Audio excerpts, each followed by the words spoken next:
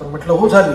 मी एकोणीसशे सत्त्याण्णवला त्यावेळेस माझं वय पण तसं होतं की थोडं आपण एक्सायटेड असतो जास्त. तर म्हटलं झाली झाली तालीम झाली. तर तो पटकन बोलून गेला की तुझं नाटक पडणार आहे. आणि मला ढचकन डोळ्यात पाणी आलं. मला कळलंच नाही की मी ते काय ऐकलं. पण तो जो होता माणूस तो आमच्याच नाटकाचा एक तंत्रज्ञ होता. असंही नाही की तो कुठला तरी बाहेरचा माणूस आहे आणि तो मला बोलतोय. मी शिवाजी मंदिरच्या बाहेर पडलो आणि कोणाला विचारलं की इथे मंदिर कुठे आहे? तर ते म्हणाले पुढे गेलात की लेफ्ट साईडला मंदिर आहे. आता त्या विचारात मी पुढे गेलो आणि पहिला लेफ्टन मी मिस केला. पहिला लेफ्टन घेतला नाही. मी दुसरा लेफ्टन घेतला आणि सेनाभवनच्या अलीकडे जो स्वामींचा मठ आहे तो जुना मठ त्या तिथे गेलो आणि आतमध्ये मला एक मोठी तसबीर दिसली आणि वर लिहिलं होतं श्री स्वामी समर्थ. आता म्हटलं हे कोण आहेत?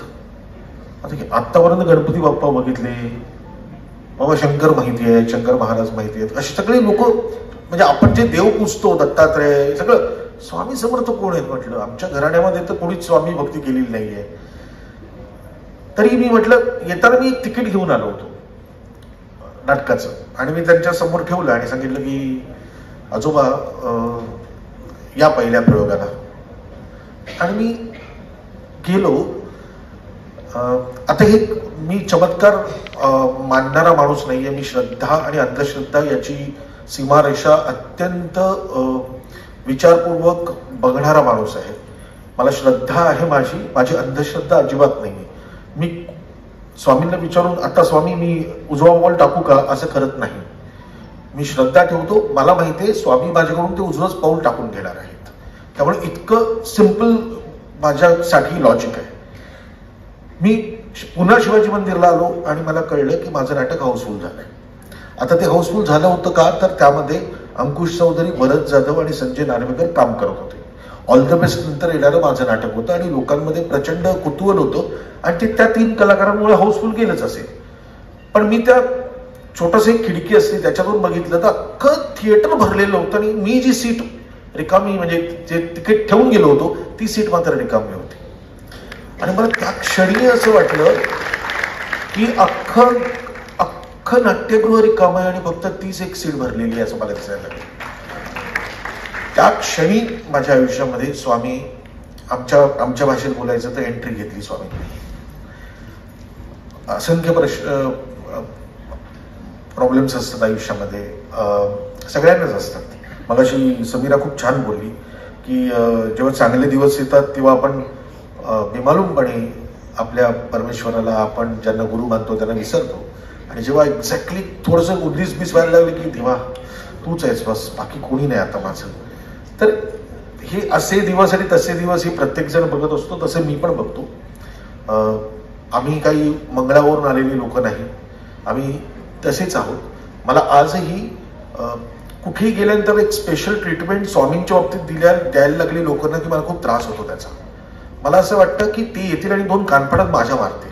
की तुझी लायकी नाहीये एक तर तू इथपर्यंत आलायस ना ते माझ्यामुळे आलायस. आणि तू कोण सांगणारा की मी केदार शिंदे आलो आणि जरा जरा या या मला जरा त्या स्वामींच्या मठापर्यंत पोचवा. मी आजही रोज सकाळी उठल्यानंतर मी फक्त धन्यवाद त्यांना मानतो की तुमच्यामुळे आज दिवस दिसला. आणि रात्री झोपताना त्यांच्याकडे बघून म्हणतो तुमच्यामुळे दिवस दिसला. थँक्यू बस. मला सग- आज आम्ही इतकं सगळं करतो आम्ही नाटक करतो आम्ही सिरियल करतो आम्ही सिनेमा करतो असं लोक म्हणतात. मला असं वाटतं ते करवून घेतात. आपण नाही करत. आणि मी तर अजिबात नाही करत. मला बरेच वेळा हा अनुभव आलाय की जेव्हा जेव्हा माझ्या कुठल्या गोष्टीमध्ये मी अडकलेलो असताना अचानक माझ्या खांद्यावर येऊन कानात काहीतरी बोलून गेल्यासारखं मला वाटतं. आणि ती गोष्ट मी केल्यानंतर त्याचं फलित करेक्ट मिळतं. आता मग हे कोण आहे सांगणारं? तर हो ती माझी श्रद्धा आहे ती माझी भक्ती आहे. आणि ते माझे स्वामी आहेत जे माझ्या कानामध्ये येऊन सांगतात. मी अं, मी कोणी मोठा स्वामी भक्त अजिबातच नाही. मी सर्वसामान्य स्वामी भक्त आहे. कारण अं, इथे कोणी मोठा आणि छोटा असा स्वामी भक्त असे काही मो- मापं घेऊन आपण उभे राहू शकत नाही. किंवा वजन घेऊन तर काही उभे राहू शकत. की तुमचं किती वजन आहे स्वामी भक्तीचं आणि माझं किती वजन आहे स्वामी भक्तीचं. तर मी अत्यंत सर्वसामान्य माणूस आहे. एक आहे मला माझ्यावर कदाचित स्वामींची मर्जी असेल माझ्यावर स्वामींचं प्रेम असेल म्हणून माहीत नाही पण मी कनेक्टेड सगळ्या ठिकाणी फक्त स्वामी भक्तांशीच होतो. मला जे भेटतात ते समोर येऊन मी जेव्हा श्री स्वामी समर्थ म्हणतो ते म्हणतात श्री स्वामी समर्थ. आणि कनेक्शन झालं. हा कांदेवाडीचा मठ माझी सासूरवाडी गिरगाव आहे. माझे माझी पत्नी ते माझी सासूबाई हे अखंड नामस्मरणाला तुमच्या इथे नेहमी पहिल्यापासून यायचे सप्ताहाला अखंड सप्ताहाला. मी दर्शनाला आलेलो आहे याच्या अगोदर पण मला असं वाटतं की आता कांदेवाडीच्या मठात पण माझं येणं आहे ना हा मी आत्ता एक अनुभव नक्की तुम्हाला सांगू इच्छितो. श्री स्वामी कृपामृत नावाची रांजेकरांची पोथी आहे. ती पोथी माझ्या आयुष्यामध्ये आली आणि मी आजही रोज कितीही कुठेही असेल तरी एक अध्याय रोजचा वाचतो. मी आठ वर्षातून एकदा गुरुलीलामृताचं पारायण करतो. माझी खड्ड्यात गेली माझी सगळी कामं आणि माझं सगळं. मला मला काय वाटतं? तर ते मी करतो पेक्षा ते माझ्याकडून करून घेतात आणि त्याच्याने माझा काय फायदा होतो माहितीये का? तर माझी माझं त्यावेळेस माझं मन कुठेही विचलित होत नाही इकडे तिकडे जात नाही. मला स्वामी काहीतरी देतील म्हणून या सगळ्या गोष्टींचं वाचन मी नाही करत. मला फक्त एवढंच वाटतं की त्यावेळेस मी स्वामींचा असतो आणि स्वामी माझे असतात जास्तीत जास्त. वेळ तर ती स्वामी कृपामृत पोथी मला मिळाली आणि मला असं वाटतं की ती कुठेच मिळत नाही. मध्यंतरी मी आणि सौ सुचित्रा आदेश बांदेकर यांनी एक साडेसातशे पोथ्या आम्ही छापून घेतल्या होत्या त्या. आणि अजिबात विनामूल्य आम्ही दादरच्या मठामध्ये जे गुरुलीला पारा- पारायणाला बसली होती लोक जी साडेपाचशे सहाशे माणसं होती त्यांना ती पोथी आम्ही भेट म्हणून त्यांच्याच डेस्कवर ठेवली. हातात पण नाही दिली. ते जिथे त्या बसायचे त्या पोथी तिथे ठेवून दिली होती पारायणाला. आणि त्या एक सहाशे झाल्यानंतर दीडशे आमच्याकडे राहिल्या. त्यामुळे आम्ही जे जे स्वामी भक्त माझ्यासमोर यायचे त्यांना वाटायचं की पोथी मला पाहिजे. तुम्ही कुठली पोथी वाचता? हे सगळं झाल्यानंतर मी त्या त्या ठिकाणी ती पोथी पोचवण्याचं काम करायचो. शेवटच्या तीन पोथ्या फक्त माझ्याकडे राहिल्या होत्या. गांधेवाडीच्या मठामध्ये मी आलो. मला आठवते आपले सेवक सेवेकरी आहेत ते मला पूर्ण माहिती देत होते आणि मला म्हणाले हे बघितलं का? हे स्वामी कृपामृत पोथीचं वाचन इथे होतं. आणि म्हटलं "मग मी पण करतो. तर ते म्हणाले तुम्ही कसे करता? तुमच्याकडे पोथी कुठून आली? म्हटलं माझ्याकडे पोथी आहे. आणि आम्ही छापून घेतल्या होत्या. पण आता आणखीन पोथ्या आहेत का? कारण आम्हाला कमी पडत आहेत तर म्हटलं माझ्या गाडीमध्ये तीन पोथ्या आहेत शेवटच्या. ते म्हणाले ठीक आहे त्या द्या लवकर द्या. म्हणून मी माझ्या माणसाला दीपकला मी सांगितलं त्या पोथ्या आणून दे. आणि त्या पोथ्या दिल्या. खरंच सांगू का?